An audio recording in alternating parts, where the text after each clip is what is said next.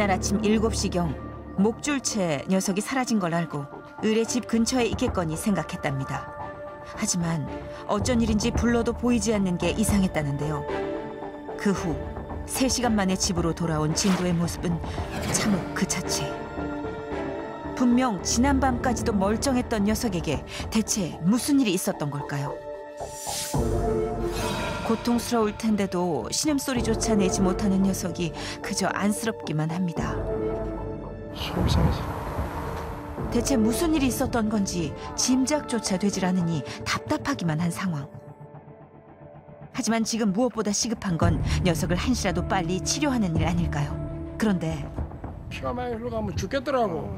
그 병원을 데려가려니 차를 안 타요. 아, 차를 안 타요? 어, 안 탄다고 이게 막 불안해하는 거야. 그래 어떻게 할 방법이 없더라고. 나도 막 엄두가 안 나고. 어떡해. 무슨 이유에선지 상처를 입고 집에 돌아온 직후부터 집 밖으로 나가는 것도 차를 타는 것도 거부하고 있답니다. 하지만 그렇다고 고통 속에 놓여 있는 녀석을 지켜만 볼 순 없기에 상태를 확인하고 치료를 하기 위해 수의사가 직접 현장을 찾았는데요. 아이고.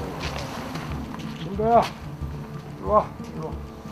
겁을 모아가지고 이렇게 막 낯선 이의 등장에 더욱 불안해하는 진도. 극심한 통증과 불안감을 호소하는 탓에 진료조차 쉽질 않으니 결국 치료를 위해 진정제를 투여했습니다. 이제 녀석이 잠들기만을 기다리는데요. 아이고. 드디어 마취된 진도의 몸 곳곳을 살펴보는 수의사. 그런데 가까이서 살펴본 진도의 상태는 훨씬 더 심각했습니다. 지금 이쪽에 보이는 부분이 흔히 말하는 눈에 검은 동자가 이렇게 위로 올라와 있는 상태거든요. 현재 가장 위험한 건 역시나 밖으로 돌출된 눈. 어떡하지? 일단 지금 아이 통증도 되게 심하고 시간이 지나면은 저렇게 오픈되어 있기 때문에 감염이 되게 되면 더 2차적으로 감염이 되면은 더 안 좋은 상태까지 갈 수 있거든요. 그렇겠죠. 여기서 더 지체되면 상처에 균이 퍼져 2차 감염으로 생명이 위험해질 수도 있기에 다급히 감염을 막기 위한 응급처치에 들어갔습니다. 하지만 눈뿐만 아니라 몸 곳곳에 외상이 보이는 만큼 내부 장기 손상도 염려가 되는 상황. 때문에 현장에서 더 이상의 치료는 불가능하다고 판단. 정밀 검사를 위해 큰 병원으로 이동키로 결정을 했습니다.